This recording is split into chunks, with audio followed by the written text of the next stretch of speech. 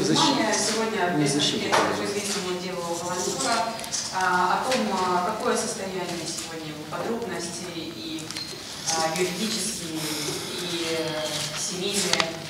Анатолий Тарасенко, адвокат Явдошенко, Екатерина Явдошенко, супруга волонтера, Вита Говорит, пресс-секретарь прокуратуры Харьковской области, Юрий Лихот, активист общественной организации «Солидарность». Э, Екатерина, если можно, общую ситуацию расскажите, что, как, Да, общая ситуация такая, что уже а, два месяца, как мой муж находится в СИЗО, а, его а, забрали 10 числа июня месяца.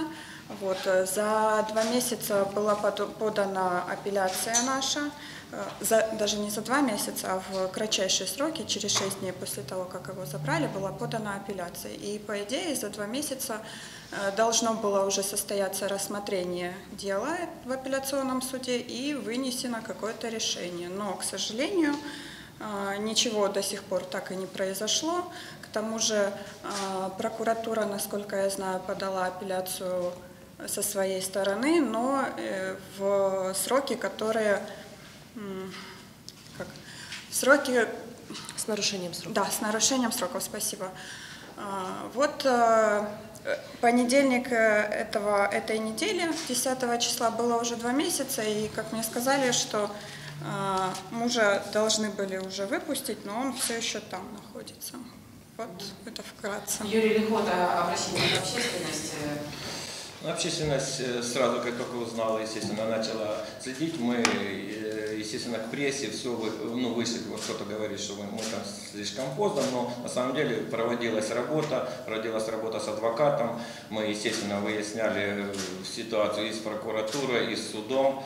Э, Продолжаем следить за этим. И, в принципе, ну вот чуть-чуть сейчас зашевелилось, потому что уже как бы поднялись, поднялись все, все очень. И чтобы вы понимали, ну, мы занимаемся разными вопросами, но к этому вопросу, особенно в интернете, в Фейсбуке, очень серьезное, огромное внимание людей. То есть люди только после первого же поста люди сказали, куда выходить. Куда выходить? на сегодня что вы хотите, что вы на, на- на сегодня, во-первых, человек должен быть на свободе. Во-вторых, э, э, должно начаться рассмотрение по существу, не так за 20 минут, как, как сделали, но в первую очередь человек должен быть на свободе. Я уже объяснял всем, что человек не просто, это не просто человек, человек зарабатывает деньги, тратит их на помощь армии и именно на беспилотники, то есть не просто там носки или что-то, то- которое тоже важно. Сейчас у нас лежит в нашем отделе э, аэроразведка лежит три незаконченных крыла, которые уже два месяца должны летать. И когда нам рассказывают, вот вы понимаете, мы много общаемся с представителями там судебной, ну, скажем так, вот, Фемиды, назовем их общим, очень фразу. Всем подходят, все с пониманием относятся. Но человек, блин, сидит. Вот, вот там вот у нас такие законы, вот там запятые. Вот поэтому я предлагаю, я уже вы- высказал, я уже предложил, давайте вот этих всех людей, которые так делают, вот, рассказывают нам законы, обмотаем их этими кодексами, конституциями, там, запятых нарисуем и пошлем в разведку. Пусть они добывают э, развединформацию на фронте, ту, которую должны были добывать э, э, беспилотники. Поэтому вот еще раз обращаемся ко всем, суд, прокуратура, милиция, я не знаю, кому еще обращаться, включите, пожалуйста, державницкую позицию. Вот кто, кто аплодирует тому, что сейчас Дима сидит в тюрьме? Вот скажите мне. Сепаратисты. Потому что хоть что-то, а вот небо не прикрыто. Вы видите, что там сейчас только с рогаток не стреляют по нашим. Вот поэтому мне хочется вот, это все частности. Главное, вот, че- вот если человек державный, государственник идет, видит что-то не так, он не должен ждать там, когда создастся комиссия, какие-то э, при- прибегут там какие-то активисты бешеные, там журналисты, значит, он видит что-то не так, взял и сделал. Это несложно. Да. Вик, если можно, подробнее ситуацию, потому что есть претензии. Ам, Ну, во-первых, я понимаю эмоциональную позицию Юрия. Он выступает с позиции гражданина, человека, активиста. А, Мы, к сожалению или к счастью, но мы не можем себе позволить такую эмоциональную позицию. У нас есть закон, мы орган, надзирающий за соблюдением законов, поэтому мы можем работать только в тех условиях, которые нам предоставили законодатель. Первое, что хочу сказать в отношении содержания под стражей.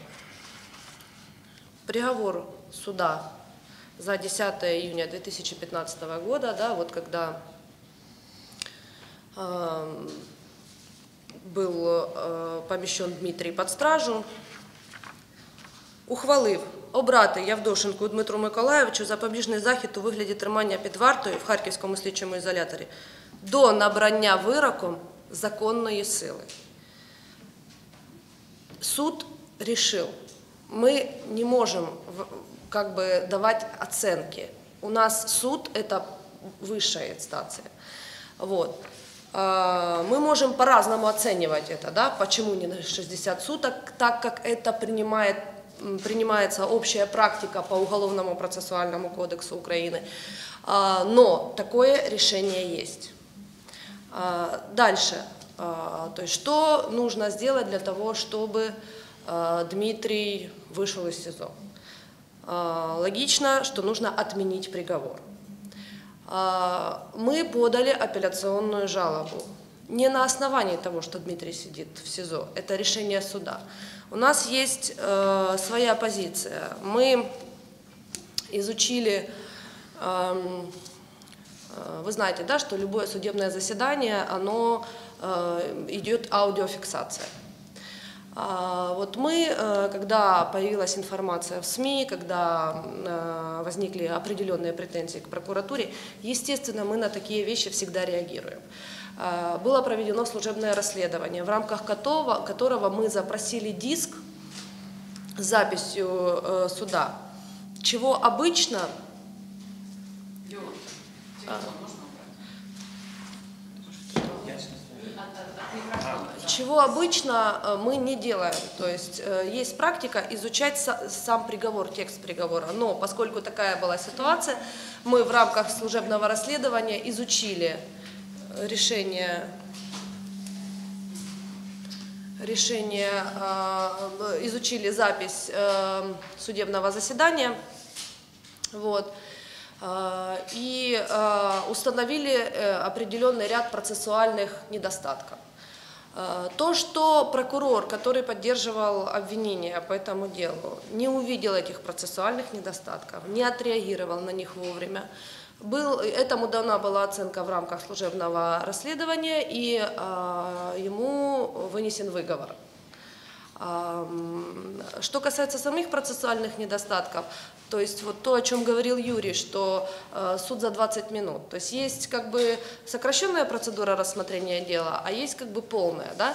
Э, вот когда всем, э, сокращенная процедура, она проводится только с согласия всех участников судебного заседания. Так вот, когда спрашивали эм, у всех участников, как бы были нарушены определенные процессуальные но- нормы э, в отношении Дмитрия Евдошенко. Мы считаем, что это достаточное основание для того, чтобы отменить приговор и отправить дело на новое судебное рассмотрение для того, чтобы рассмотреть его по полной процедуре, э, под четким взором общественности, да, чтобы э, ни у кого не было сомнений в том, что Фемида и закон в этой стране работают. Вот. Завтра, э, собственно, почему мы э, опоздали с апелляцией, да, вот э, нарушение сроков. Мы подали ходатайство о восстановлении сроков. Это предусмотрено законом, потому что эти процессуальные нарушения мы не могли обнаружить, только прочитав приговор.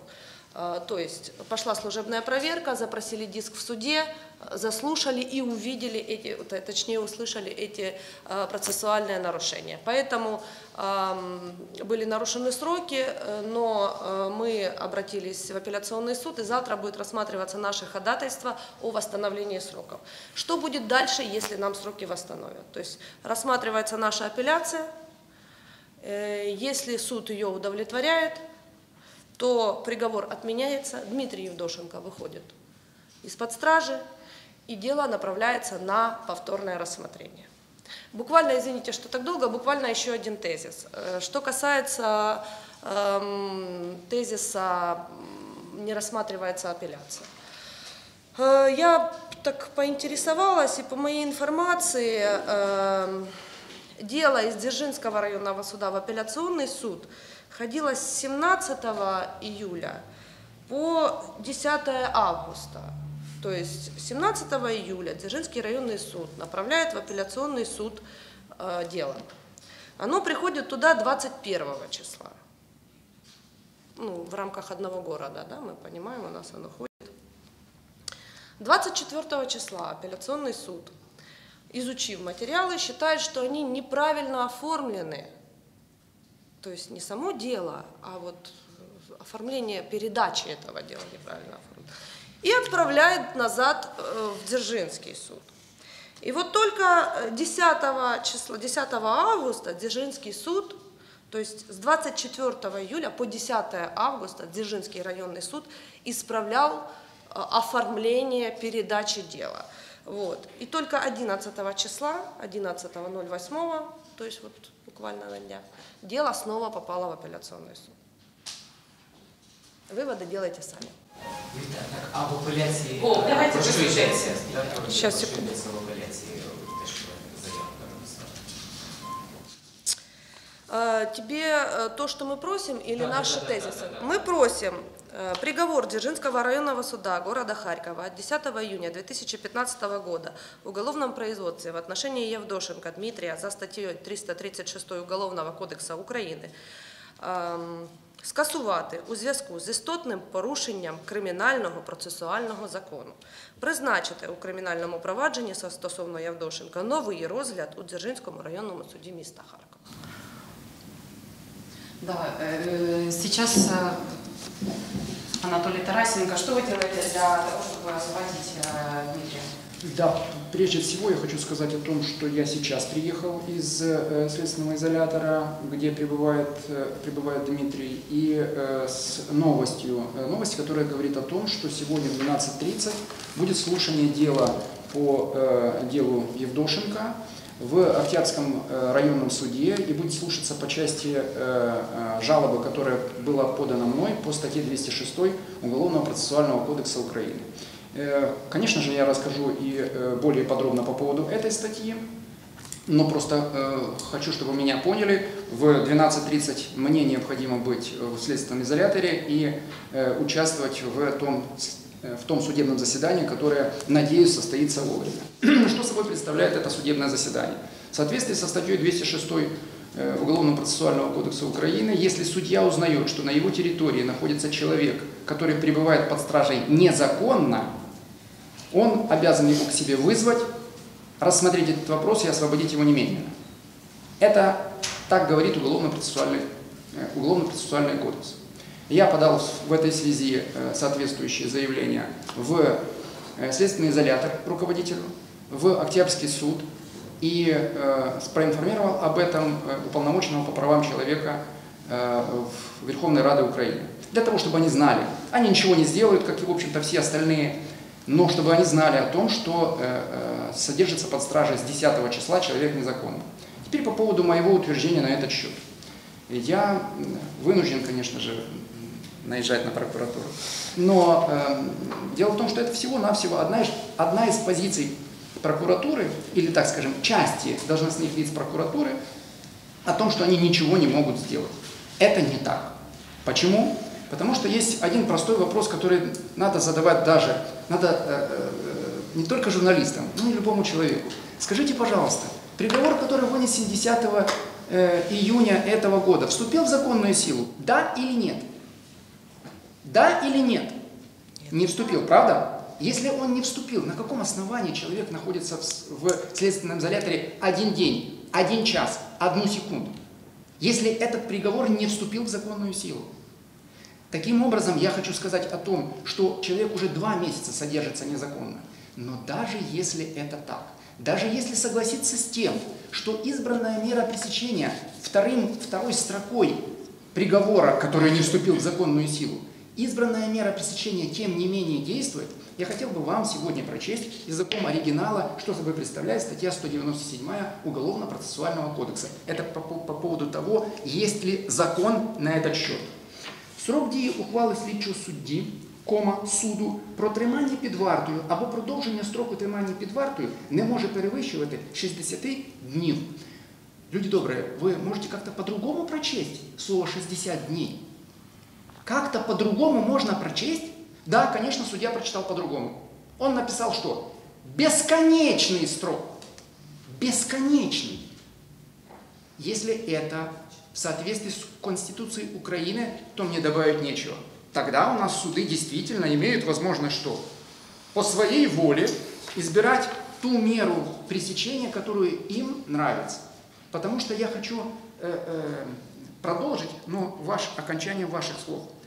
Если будет отменен не вступивший в силу приговор э, от 10 июня 2015 года, вторая, вторая строка будет действовать или нет? Приговора.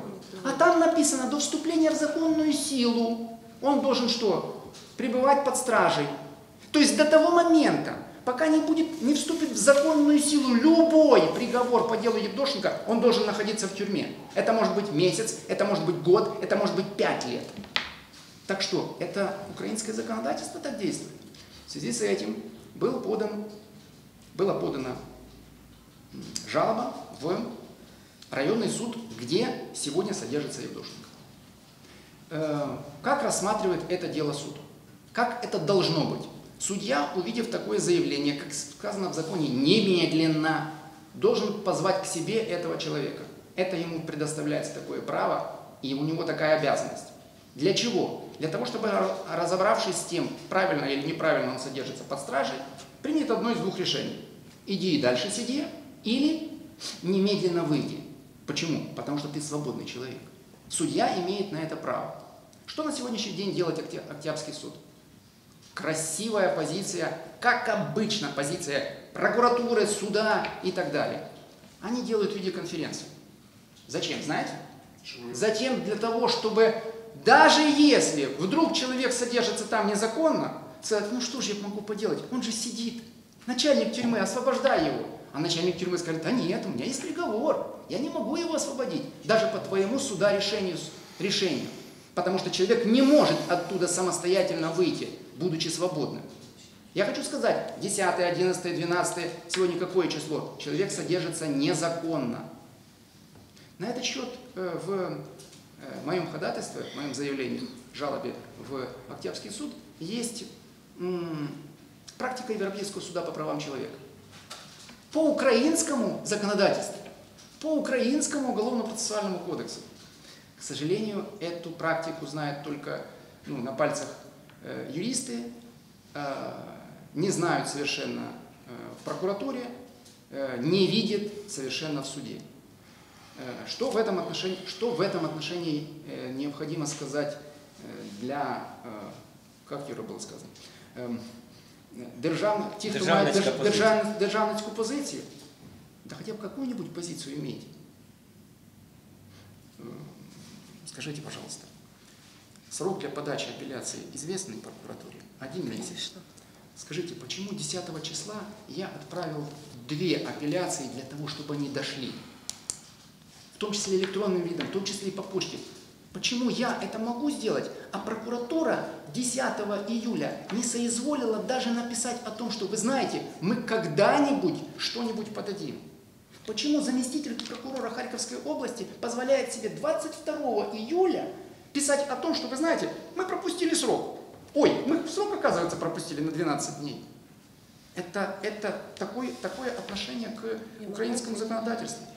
Да, конечно. Я, Но не сейчас, я поняла. Я, я просто чуть-чуть попозже.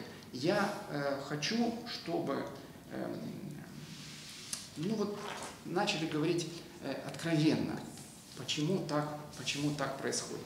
Почему суд на сегодняшний день не может вынести решение, которое называется освобождение человека из-под стражи? Еще до апелляционного, апелляционной жалобы. Почему не может вынести это решение? Ведь это можно сделать. Почему прокуратура не ходатайствует в своем, в своем, э, в своей апелляционной жалобе, поданной не в срок? Почему не говорит о том, что необходимо изменить меру пресечения? Ну, вот почему? Это что, корова, которую нельзя резать? Это нужно делать. И, к сожалению, к сожалению, не только не пользуются уголовно-процессуальным кодексом, но и, вы знаете, слово такое, отмораживаются. Все те, к которые даже на словах говорят о том, что они хотят помочь Евдошенко. Благодарю. Да, Ведь можно если ответить. можно, Что касается подачи апелляции, мне казалось, что я достаточно четко объяснила. Э, Еще раз говорю, что э, нас задержало служебное расследование. Мы же не можем подавати, е, як е, ви, господа адвокати, 5, 10, 15 жалоб. У нас має бути виважена пот- позиція. Ми повинні изучить всі матеріали а, і підготовити е, нормальні документи. Вот. А, Спешите, да? не- Вид, вы отвечайте. это не А, что касается вашего эмоционального выступления, я вот апеллировала в этом плане к Юрию и к вам апеллирую. А, ваши э, вот такие громкие заявления, что э, отмораживается на словах. Да. Вы знаете, я пришла сюда, я сижу рядом с вами, я э, высказываю позицию, я не скрываю того, что у нас тоже есть э, ошибки. А, Я прямо говорю о том, что наш прокурор пропустил процессуально, и да, действительно должна была быть апелляция подана сразу. Прокурор наказан. Что нам нужно? Вывести его на площадь, расстрелять? Мы провели расследование внутреннее. Мы человека наказали. Мы ошибку, как можем в рамках закона, сейчас исправляем. Апелляционную жалобу мы подали. А, Прямо заявляем, что наша позиция в том, что этот приговор нужно отменить, что человек должен выйти на свободу. А, Как бы есть эмоции и есть то, что мы сделали. По поводу отмораживания. Я пришла со всеми документами, все, что могу, я сказала. По поводу позиции, апелляция подана, несмотря на э, сроки. Да, задержали, да, мы тоже прямо об этом говорим и прямо говорим, почему это так. Вы со своей стороны сейчас боретесь за Дмитрия Евдошенко, а мы со своей. И я не совсем сейчас понимаю, как бы, эм, Давайте В чем защи- у нас с защи- вами конфликт Я в защиту вас наших скажу. структур? Я в защиту вас скажу. И э, журналистам еще чуть-чуть э, подолью масло в огонь по поводу судебного решения.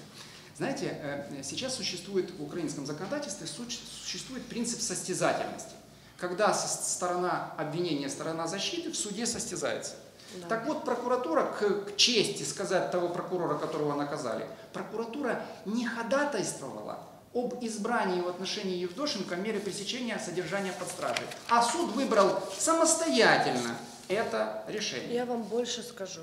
Державний обвинувач пропонував суду призначити Явдошенку покарання у виді 4 років позбавлення із застува- із, е, 4 років позбавлення волі із застосуванням статті 75 зі звільненням від відбування покарання. Правда, І 11 ми не настаивали правда, на реальной 11 мере. июня он не подал апелляцию и не подал в течение И месяца. наказан за это.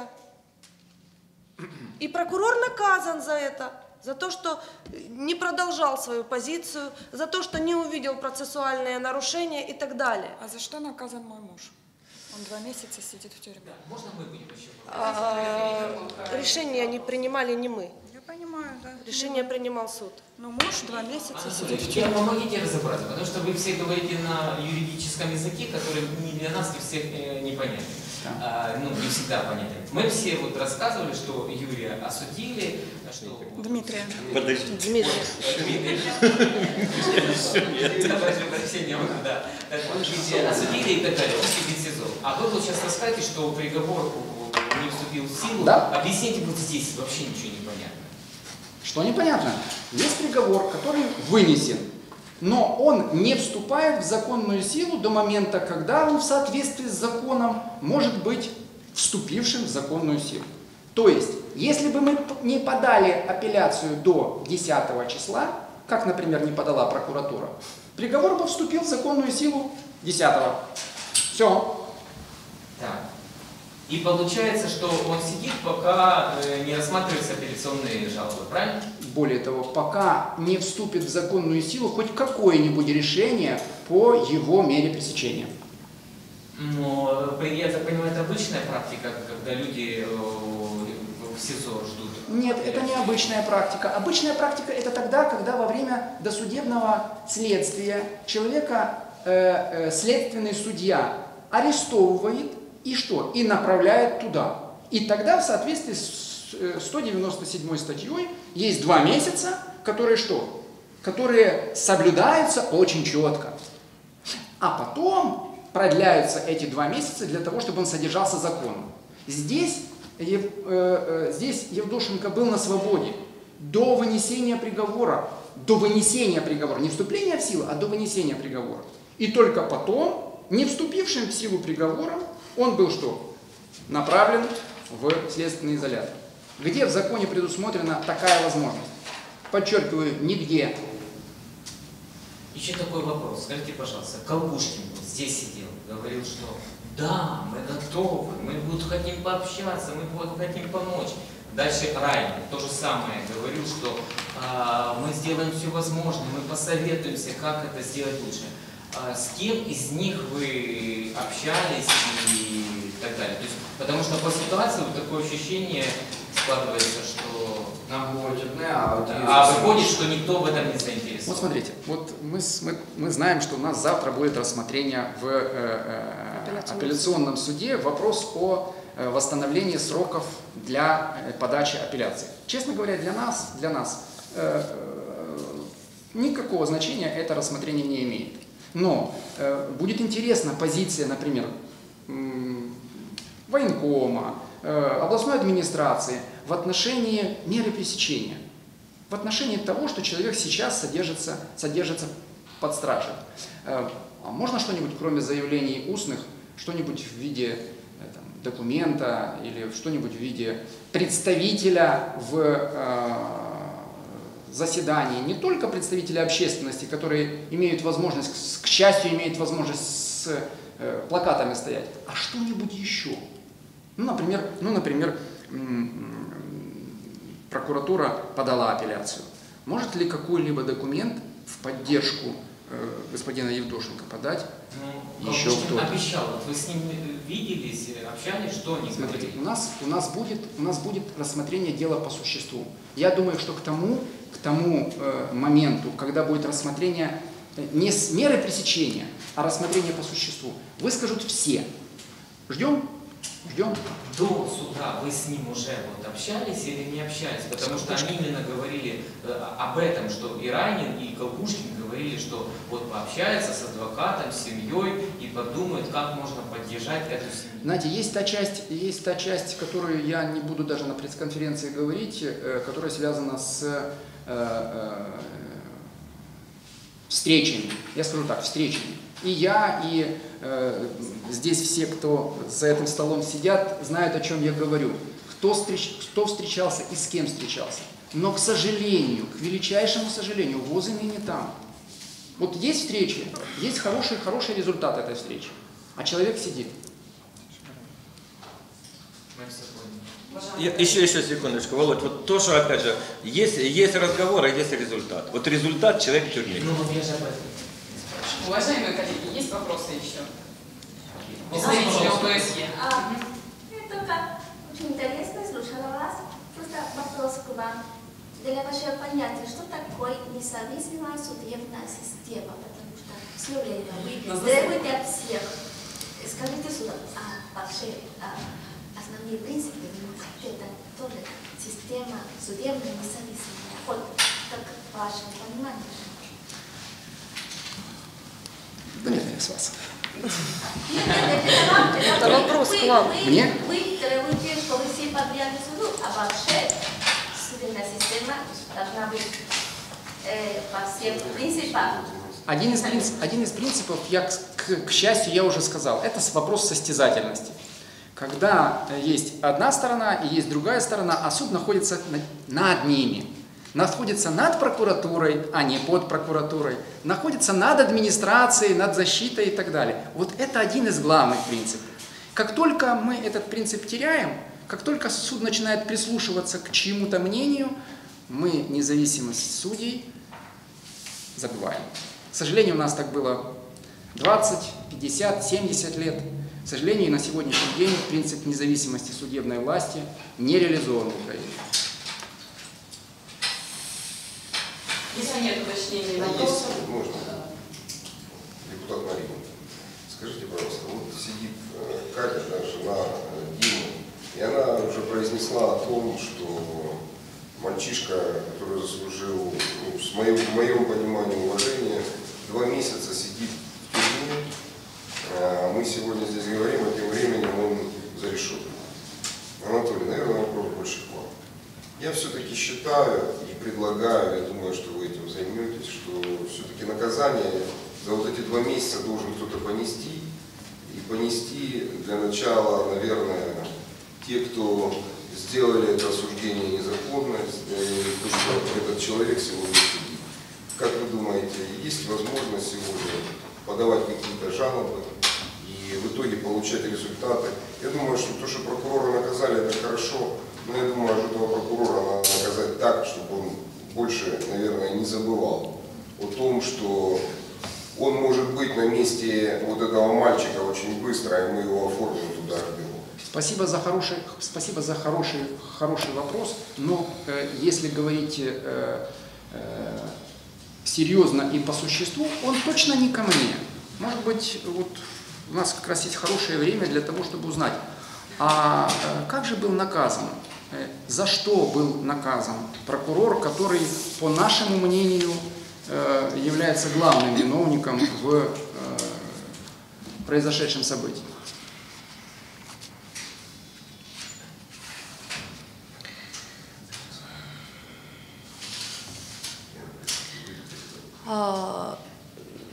А, Могу как бы зачитывать, могу попытаться объяснить своими словами. А, Вот те процессуальные нарушения, о которых мы говорили, да, что у Евдошенко не выяснили, собственно, а, Судом всупереч вимогам 349 КПК України не вияснено, правильно ли розуміють учасники судового провадження про розгляд провадження без дослідження доказів.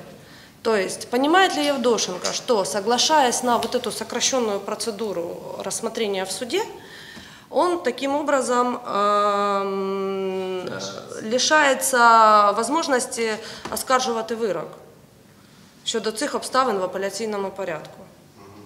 Вот. А, Мы прослушали, вот у нас есть даже тайм-код, на каких минутах это у него все выясняется. И вот эти вот, вот, вот, вот в эти несколько, 30 секунд были нарушены его права. Вот. Прокурор там присутствовал, прокурор сидел, прокурор слушал а, и не отреагировал на это нарушение процессуальное, так, как он должен был отреагировать как прокурор. При этом я хочу отметить такой момент, что эм, сам состав преступления, он в какой-то степени все равно присутствует. То есть то, что Дмитрий пришел в э, военкомат и отказался уже после прохождения получать повестку, это правда? Нет. А, да. Я, э, теперь, я, вот теперь я продолжу. Заметьте, в э, тщательном расследовании, которое проводилось почти полтора месяца, Милицией. э, кем? Милицией. Прокуратурой. Милиция. Прокуратура Я не говорю- проводит я- досудебное я расследование говорю по не- статьям Я говорю не о 336. расследовании, я говорю о проверке, А, внутренняя проверка. о внутренней Мгм. проверке, которая полтора месяца проводилась. В э, Не окончательном... полтора месяца И проводилась. тем не менее, я так считаю. минут слушать полтора месяца. Да, совершенно верно. И что у нас получается? И у нас получается, что в этом в э- окончательном тексте ни слова не сказано по поводу того, что готовился какой-то документ, который на- называется соглашение сторон, который Дмитрий подписал. Ни слова нет. Ни слова не говорится о том, что делал, что делал прокурор после того, как был вынесен приговор и как он хотел помогать Дмитрию выйти из, из тюрьмы. Ни слова об этом не говорится. И вы считаете, что этот непроцессуальный документ мы должны рассматривать как серьезный? Вы считаете, что то, что не предусмотрено никаким законом, предусмотрено чем? Внутренними инструкциями прокуратуры. Мы должны рассматривать как основание для пропуска срока на подачу апелляций. Для того, чтобы, для того, чтобы сказать, ай-яй-яй, прокурор, что ты там не то слышал? А то, что он не, Не, то слышал, а не отреагировал. а то, что он не то говорил и не то делал, это где-то предусмотрено. Вот, вот прочувствуйте разницу. Оказывается, не прав Евдошенко в том, что он сидит. Потому что прокурор не услышал. делаете неправильные выводы с моих Понятно. слов. Я ни понимаю. разу не сказала такого и такого не подразумевала. Да, только, только что вы спросили А, по поводу давайте того, что тогда правда, что- вернемся к правда, что- вопросу. правда, что Евдошенко отказался служить, служить э, э, украинской армии? Ну, это в приговоре указано, как бы это я озвучиваю ту позицию, которая была озвучена во время приговора, и он признавал свою вину. Вот. А, Но это будет про- вопросом нового рассмотрения этого дела, поэтому давайте не будем сейчас углубляться, если вы не против. А, Что касается наказания, а, никто не мешает адвокату, да, обращаться в прокуратуру к вышестоящему руководству. И если адвокат считает, что Дагана в данном случае и наше внутреннее расследование это не соответствует законодательству Украины, что действия прокурора подпадают, у него есть к этому э, э, доказательства, никто не мешает ему обращаться в прокуратуру области э, с заявлением про скоенный криминальный злочин, чтобы вносили данные в единый реестр досудебных расследований и проводили уже не внутреннюю проверку, а досудебное расследование по фактам, которые адвокат считает присутствуют. А мой муж все еще будет сидеть в тюрьме. А смотрите, а есть все-таки возможно, что вот завтра, да, если отправить дело на пересмотр, э, Дмитрия выпускают, да, и он, ну, вот именно в процессе пересмотра уже не в СИЗО проводит, да, а Конечно, есть такая возможность. Мы-то не ходатайствовали о мере пресечения. Мы, он на стадии досудебного расследования от органов следствия не прятался. У нас, по сути, нет оснований. А, Дело в том, что такая мера пресечения, как содержание под стражей, это самая строгая. Да, у нас есть домашний арест, у нас есть особисте зобов'язання.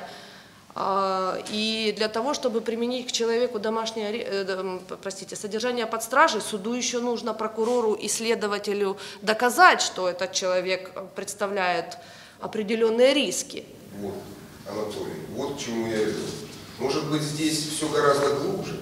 Может, здесь все-таки не, прокура- не только прокуратура, скажем так, э, замазана да, в этом деле, в бездействии. Давайте А вопрос к судьям. Я не говорю, я корректно говорю.